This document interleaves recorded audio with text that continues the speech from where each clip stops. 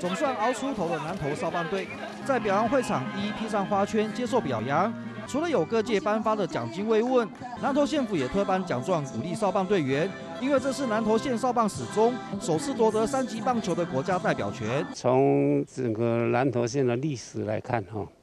我们的三级棒球以往都是非常薄弱，甚至于组队都有一些困难，所以这些成绩对我们南投县来讲是一种鼓舞。去每场都很难打，阿娟都跟我们说放开。放开来打会比较轻松，那紧绷打，你的心理因素就没有，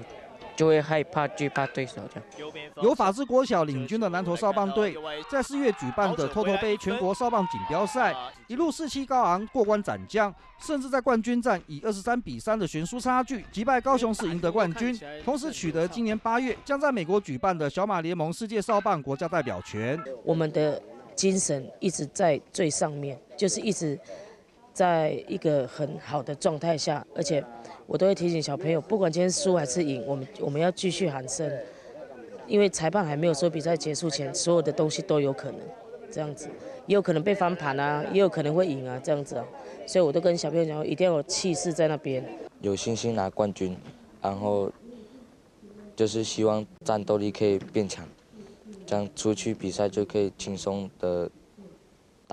首次拿下国家代表权光荣的南投少棒队，将代表台湾在国际赛事争夺世界冠军。他们希望以这份荣耀为动力，并在未来的几个月中加强练习，要让世界看见台湾少棒的坚强实力。原是新闻 No 南投市采访报道。